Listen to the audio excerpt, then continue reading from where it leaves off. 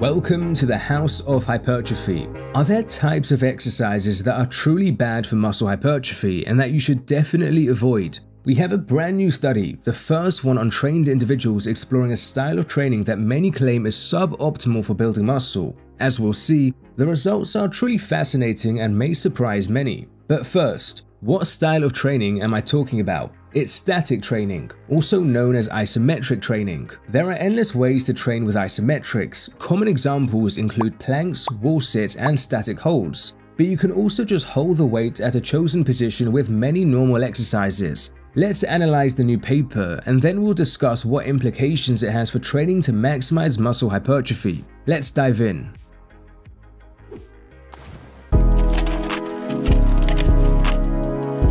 23 trained individuals were recruited with an average of around 4.2 years of experience, but there were subjects with as much as 9 to 10 years of experience. This is actually one of the subjects here. With one leg, subjects performed a max effort knee extension isometric contraction for 30 seconds per set. As this was max effort, the RPE values for each set was 10, and it's also worth remembering that fatigue inevitably kicked in and their force output did gradually decline throughout the 30 second set despite continued max efforts. The researchers aimed to have subjects perform the isometric with their knees bent as much as possible, which ended up being around 125 degrees on average. So we can call this a long muscle length isometric. Fascinatingly, there is research demonstrating that long muscle length isometrics tend to build more muscle than short muscle length isometrics.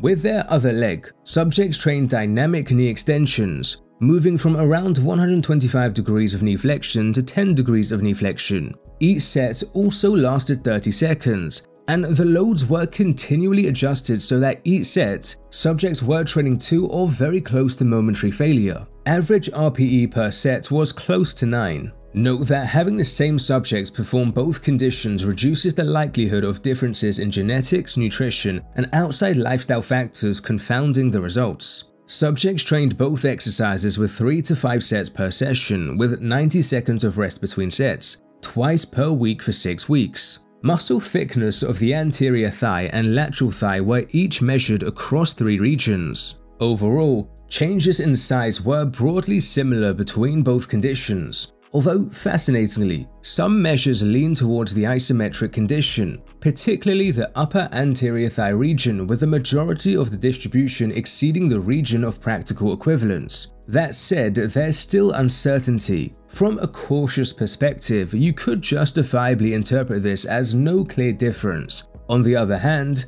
Given this was only a six-week study on trained individuals, the fact some measures lean towards the isometrics may hint at a small advantage. Either way, these results do not support the idea that isometric muscle actions are terrible for building muscle. Let us entertain the idea that isometrics had a small advantage. I think there are two plausible explanations. Firstly, the duration of the sets were equated between both conditions, but since the isometrics were performed with a maximum effort for the entire duration, total time under high tension would have been higher. If the normal dynamic training condition performed additional sets to equate total time spent at high tension levels, perhaps gains would have been similar. Secondly, the isometric spent more time at the most lengthened position, which may have some advantages for stimulating growth. I'll also add that in our last video, we overviewed the literature comparing different ranges of motions and we saw that lengthened partials appear to be at least as good as a full range motion, if not better in some cases. That shouldn't be confused with me saying a full range of motion is bad.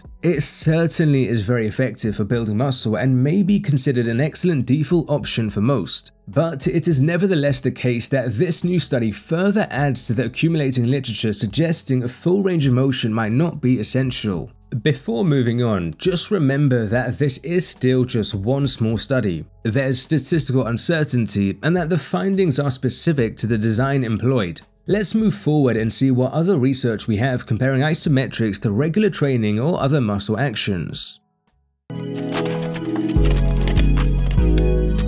One paper from 1957, yep you heard that right, 1957, compared isometric curls and overhead presses to dynamic dumbbell curls and overhead presses. Upper arm circumference gains were worse with the isometrics, but circumference is far from a precise measure of hypertrophy. We have five other studies. Four find that isometrics manage to produce similar increases in measures of muscle size, while one of them fascinatingly suggests regional differences in growth between eccentric only and isometric only hip extension training. We know the new paper used max effort isometrics, but it's worth pointing out that some of these papers had subjects hold sub-max isometrics for a duration, suggesting that gains can still be achieved without sustained all-out max effort isometrics against an immovable object. Now, this certainly is still not a ton of strong data, but there is other somewhat indirect data from a 2007 review paper. It included an exploration of the average rate of muscle growth from a range of variables. It found that dynamic training tended to increase quad cross-sectional area by 0.11% per day, while isometric training tended to increase quad cross-sectional area by 0.11% per day, so the rate of gains were identical. As for the elbow flexors, Dynamic training tended to produce an increase of 0.2% per day, while isometric training tended to produce an increase of 0.14% per day, which isn't super far off. There are far fewer data points contributing to the isometric percentages, and we're comparing the rate of growth between varying studies. So the research directly putting isometrics up against dynamic training is stronger evidence. Summarizing things so far, further research will only help our insight. But I'd say what we currently have undeniably demonstrates that isometric training builds muscle quite well. They do not deserve to be called terrible or even meaningfully inferior since in the head-to-head -head comparisons we have, isometrics tend to hold their own. We know that most of the research assessing isometrics has, for the most part, explored max efforts against an immovable object or submax holds on specialized machines, which aren't identical to popular isometrics like planks or wall sits. For this reason, I cannot definitively say these common isometrics are definitely going to be as good as normal training, but my best guess is they might be very similar and if there is a difference, I don't anticipate it being that big. Part of the reason I suspect this is due to research on high rep training. We know that higher reps, provided they are taken to or very close to failure, can be similarly effective for hypertrophy to lower reps. I think one strong explanation behind the effectiveness of higher reps is that although they initially involve low muscle fiber recruitment and tension, as you continue performing reps and get closer and closer to failure, fiber recruitment and tension increases, resulting in a robust stimulus for hypertrophy. In a similar way, holding isometrics may initially involve low fiber recruitment and tension, but as you continue holding it and push through the pain, fiber recruitment and tension increases. So, should you train with isometrics? Well, the choice is yours. The totality of the evidence does not indicate they are essential for maximizing hypertrophy, but they are not terrible or meaningfully inferior, so I'd consider them another tool in your toolbox. Some may enjoy the variation provided by isometrics, while I know others may find them boring. For those of you interested in giving them a shot, the following details might be helpful. As the authors of the latest study describe, it is very much possible to perform overcoming isometrics without expensive equipment. All you need to do is just push or pull against an immovable object. As done in the new study, you can do multiple sets of 30 second holds, or as other studies have done, you can hold shorter duration contractions or rest for a short duration and then repeat as many times as you desire. As for non-maximum holding isometrics, I think the best way to approach these is simply to hold them until you get to or very close to failure and that counts as one set.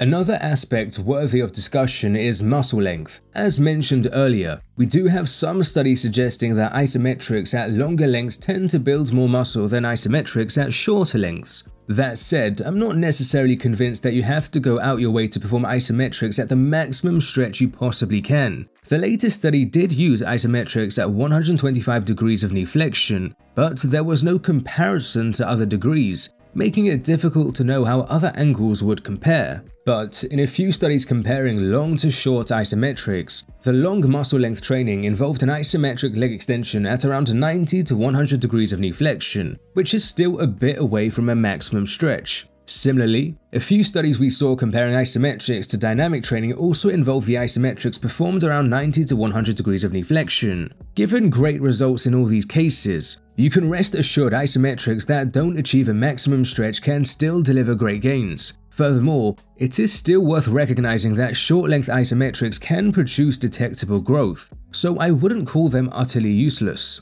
So exercises like the plank are probably still capable of being quite effective. A final point worth touching on is that for some, especially if you're well trained, isometrics like planks or wall sits may be far too easy for you such that it takes way too long to get close to failure. Fortunately, there are ways to increase the challenge such as using additional weights or a harder bodyweight variation.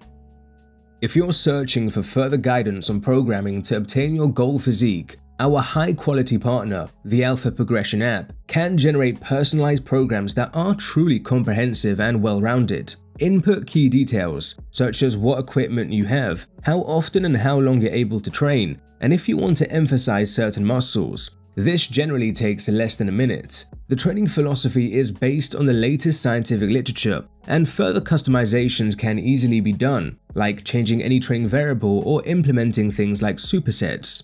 During workouts, there's a built-in warm-up set calculator and rest interval timer. The app also provides progressive overload recommendations to assist you. Of course, the app can automatically log your progression across time. If you're unsure about exercise technique, there are straightforward video and text instructions on nearly 800 exercises. The reviews from tens of thousands is a testament to its exceptional quality, but we would love to know what you think. The link in the comments and description gives you a free 2-week trial of all its features, plus 20% off a subscription if you decide to continue.